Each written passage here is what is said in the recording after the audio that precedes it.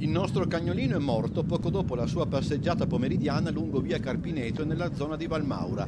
Ha iniziato a vomitare e ad essere oggetto di convulsioni. Il veterinario ha confermato trattarsi di sintomi compatibili con quelli di avvelenamento da stricnina e la testimonianza della padrona di uno dei due cani morti a Valmaura a distanza di sette mesi, giugno 2018, gennaio 2019. L'autopsia effettuata sul cadavere di uno degli animali ha evidenziato tale possibilità, senza tuttavia escluderne altre. Sul secondo cane sono in corso accertamenti. Alcuni sostengono sui social che i casi siano addirittura otto. La polizia locale, tramite la pagina Facebook Agente Gianna, invita tutti i proprietari di cani nella zona di Valmaura a prestare la massima attenzione in merito a bocconcini o alimenti sospetti. Inoltre, la polizia locale invita i proprietari di cani a informare il loro veterinario in caso di malessere o, nella peggiore delle ipotesi, di un decesso anomalo del proprio animale.